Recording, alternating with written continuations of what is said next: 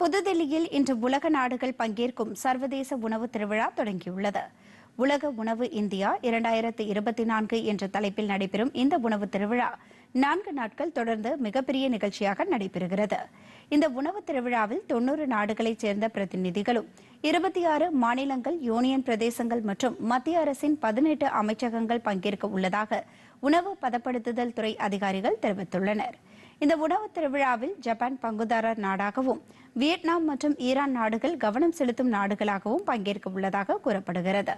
உணவு பதப்படுத்துதல் துறையில் மேற்கொள்ளப்படும் புதிய கண்டுபிடிப்புகள் புதிய தொழில்நுட்பங்கள் ஆகியவற்றை ஒருங்கிணைக்கவும் உணவு பதப்படுத்துதல் துறையில் நிலைத்தன்மையை ஏற்படுத்தும் நோக்கத்திலும் இந்த உணவு திருவிழா நடத்தப்படுகிறது.